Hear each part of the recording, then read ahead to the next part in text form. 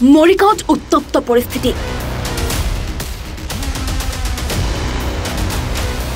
ভোটগ্ৰহণৰ মাজতেই বিকল হৈ পৰে ই ভি এম মৰিগাঁৱৰ বৈত্যপুৰী মাধ্যমিক বিদ্যালয়ৰ দহ নং ভোটগ্ৰহণ কেন্দ্ৰত ই ভি এম মেচিনৰ ভি ভি পেট বিকল হোৱা সন্দৰ্ভত উত্তপ্ত পৰিস্থিতি।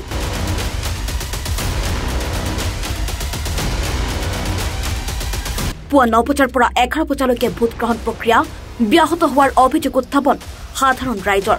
ইতিমধ্যে ভোটগ্ৰহণ কেন্দ্ৰটিত জোনাল বিষয়া মনীষা বুঢ়াগোহাঁই উপস্থিত হৈ পৰিস্থিতি নিয়ন্ত্ৰণলৈ আনিছে। ভোটগ্ৰহণ কেন্দ্ৰৰ চৌহদৰ ভিতৰত ভোটাৰসকলক শাসকীয় দলৰ হৈ ভোটাৰ তালিকাৰ ক্ৰমিক নম্বৰৰ কাগজ পেলাই থকা সন্দৰ্ভতো সৃষ্টি হয় এক উত্তপ্ত পৰিস্থিতিৰ। ইতিমধ্যে মৰিগাঁও নিৰ্বাচনী জিলা বিষয়া দেৱাশিষ শৰ্মা উপস্থিত হৈ সমগ্ৰ ঘটনাৰ বুজ লোৱাৰ লগতে সংবাদ মাধ্যমৰ আগত মন্তব্য আগবঢ়ায়।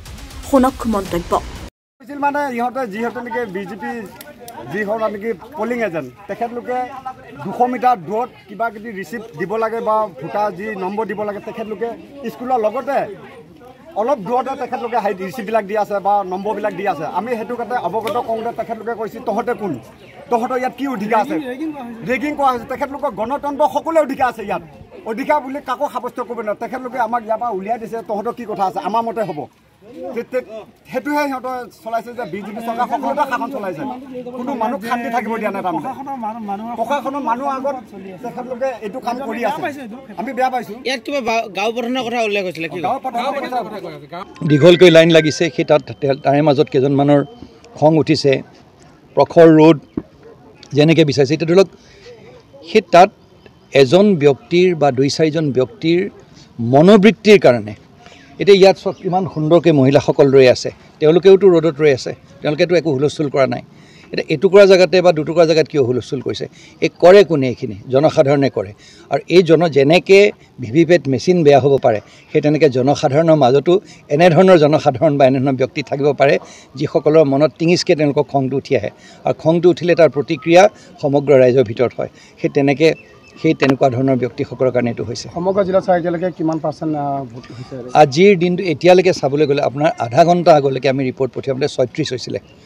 সময় অঁ সময় আছে। আপুনি দেখিব আমাৰ খুব সুন্দৰ এটা পাৰ্চেণ্টেজ হ'ব বুলি আমি ভাবোঁ।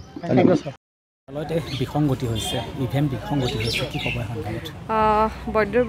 মাধ্যমিক বিদ্যালয় যোনটো দহ নম্বৰ পলিং ষ্টেচন তাতে আমি জাষ্ট খবৰ পালোঁ যে চাৰে নটামান বজাত আপোনাৰ ভি ভি পেটটো মানে কাম কৰা নাছিলে এৰাৰ দেখাই আছিলে। তো সেই হিচাপে আমি আমাৰ মাষ্টাৰ ট্ৰেইনাৰ আহিলে তেখেতসকলে চালে তাৰপিছত আমাৰ ই চি আই এলৰ ইঞ্জিনিয়াৰ আহিলে তো তেওঁলোকে আমাক ৰিপ্লেচ কৰিব বুলি ক'লে। ছ' আমি বাই দ্য টাইম আমি মেচিনটো আমি ভি ভি পেটটো ৰিপ্লেচ কৰি পিনি আমি আকৌ পল প্ৰচেছটো ষ্টাৰ্ট কৰিছোঁ। বাইদেউ স্থানীয় ৰাইজে কৈছে যে ইটো আনিছে বেয়া হৈছে সিটো আনিছে বেয়া নহয় নহয় অলপমান কি হৈছে ধৰি লওক আপোনাৰ এনেকুৱা হয় কেতিয়াবা আপোনাৰ যদি কানেকশ্যনটো তাঁৰ চাৰবোৰো অলপমান কিবা মানে ইফাল ইফাল হয় তেতিয়াহ'লে বস্তুটো এৰাৰ দেখাই থাকে। কিন্তু প্ৰথমবাৰ যোনটো বেয়া হৈছিলে দ্বিতীয়বাৰ যোনটো বি পি পেট লগালে সেইটোৱে একচুৱেলি ভাল। কিন্তু অলপ কিবা পাৰা নাছিলে কাৰণে আমাৰ ই চি আই ইঞ্জিনিয়াৰ আহি তেখেতে গোটেইখিনি ঠিক কৰিলে। আৰু এতিয়া আমাৰ পল প্ৰচেছটো ভালে ভালে চলি আছে একো অসুবিধা ৰাইজৰ উদ্দেশ্যে কি ক'ব এতিয়া? ৰাইজৰ উদ্দেশ্যে এইটোৱে যে আমি তেওঁলোকক আমি ক্ষমাও বিচাৰিছোঁ যে এনেকুৱা এটা হৈছে। কিন্তু আপোনালোকেও জানে যে এইটো এটা মেচিন হয়। যেনেকৈ আমাৰ ঘৰত আমাৰ মোবাইলবোৰ কেতিয়াবা বেয়া হয় ফ্ৰিজ বেয়া হয় টিভি বেয়া হয় তো হ'ব পাৰে সেনেকুৱা কিছুমান। আমি যিমানখিনি পাৰোঁ আমাৰ ফালৰ পৰা প্ৰশাসনৰ ফালৰ পৰা আমি চেষ্টা কৰিছোঁ যাতে গোটেইখিনি সুচাৰুৰূপে হয়। তেখেতসকলে এটাই আহ্বান থাকিব যে আজি আমাৰ দিনযোৰা আছে আমাৰ পাঁচটা বজালৈকে আছে।